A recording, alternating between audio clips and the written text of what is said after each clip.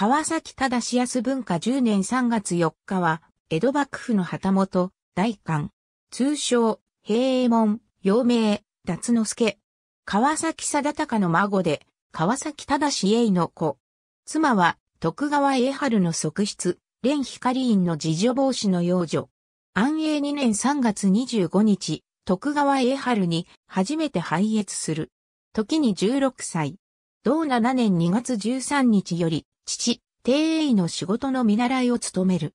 7月8日に家督を継いで大官となり、岩見国銀山の支配を兼ねる。この時、法録150票を賜り、翌日8日になお平永門に改める。同9年正月28日、居宅を火事で消失したことで出資をはばかり、謹慎するが、2月5日に許される。天明7年10月開日、銀山支配から離れる。岩見の支配を離れた後、亡くなるまで大官として支配地を5カ所にわたって転任する。同8年2月5日、税の延滞を理由に出資を止められた上、預けられた五領所のうちに万国を減ぜられる。同年3月26日に許される。完成5年12月27日、支配地が1万国増加、甲州に場所替えとなる。文化元年8月23日、場所替えで支配地が1万国増加となる。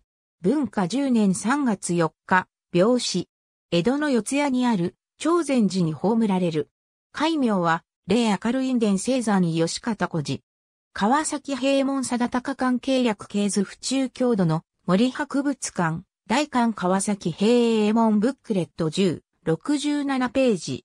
ABCDEF、新定完成重集書家譜第22、218ページ。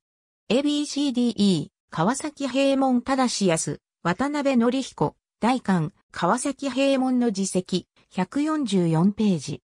ABC、完成譜以降旗本や百科事典、第2巻、886から887ページ。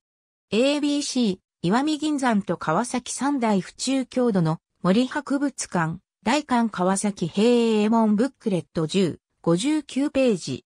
ABCD、川崎達之助村上正皇帝、江戸幕府軍内大官資料集、近藤出版社、411から412ページ。